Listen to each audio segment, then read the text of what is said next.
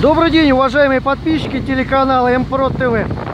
А, Сегодня 22 ноября 2018 год. Вот автобус 190-972.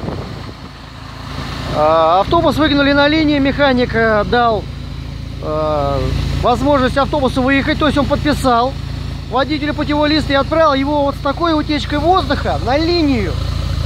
И автобус сейчас работает на линии. С такой утечкой воздуха нельзя эксплуатировать автобус. Нельзя. Но автобус на линии. Вот так у нас поступает механики колонн, в том числе и начальник шестой колонны Ладошкин Максим Валерьевич.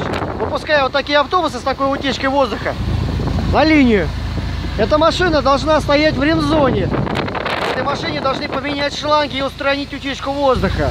Потому что эта утечка воздуха, она влияет также и на тормозную систему. Можно остаться просто без тормозов.